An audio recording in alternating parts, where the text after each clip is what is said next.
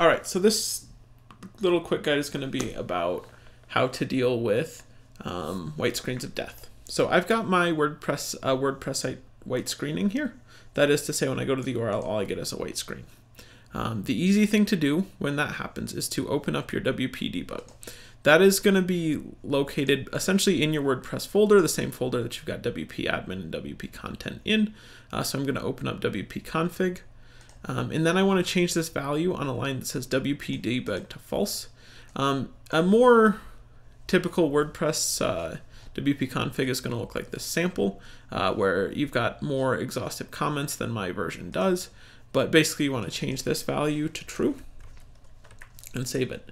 And then what will happen is on your white screen, once the file uploads, which is going to happen on mine in a second, if you refresh the page, you'll get a warning about what has actually gone wrong. So what's happened is, in this case, I intentionally broke it by putting this break everything line on line 18, but I'm getting a reported issue on line 19 of this file. Um, again, you can actually follow the full path through so public HTML, frozen toothpaste, WP content plugins, post, every, everything like that. So you're going to follow that and you're going to see, hey, it's complaining about a syntax error.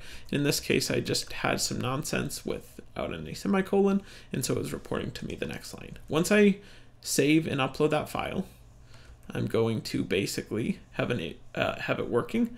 Uh, this site in particular highlights the reason to not um, leave WP debug on in production because now I'm also getting a notice. And I don't really want that on in production. This will work fine for a little longer.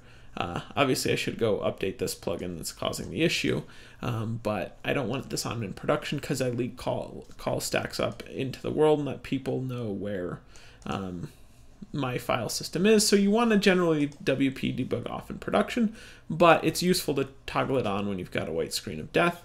Um, I'm going to have to actually go to a different page because I'm using a caching plugin.